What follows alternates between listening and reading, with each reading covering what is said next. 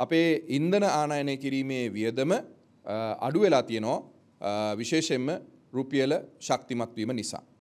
රුපියල් තුන්සිය හැත්තෑවකට පමණ තිබුණු රුපියලේ අගය තුන්සිය දාහතරක් තුන්සිය පහළවක් දක්වා පැමිණීම ඒ ප්‍රෘතිවල වාර්තා කන තුන්සිය හතක් දක්වා අඩු වෙලා තියෙනවා කියන එක එනිසයි රුපියල ශක්තිමත්වීමේ වාසිය තමයි ප්‍රධාන කාරණාව බවට පත්වෙන්නේ මේ විදුලි ජනන වියදම අඩු කර ගැනීමට අපිට හැකිවීම පුළුවන්ද.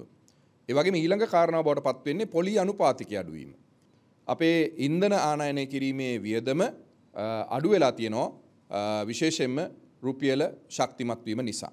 ඒ වගේම අපේ පිරිපහදුවෙන් අපි ලබා දෙන අපේ ලබා දෙන ඉන්දන ඉතාමත්ම සාධාරණ මුදලකට එහෙම අපි කියනවා නම් ලාභ තියාගන්නේ නැතුව ලංකා කනිත්තෙල් නීතිගත සංස්ථාව හරහා විදුලි බල මණ්ඩලයට ලබා දෙන්න හැකියාව ලැබීම නිසා මේ තත්ත්වය උදාලා තිනවා. මේක මීට පෙර අපිට කරන්න පුළුවන් කමක් තිබුණ නැහැ.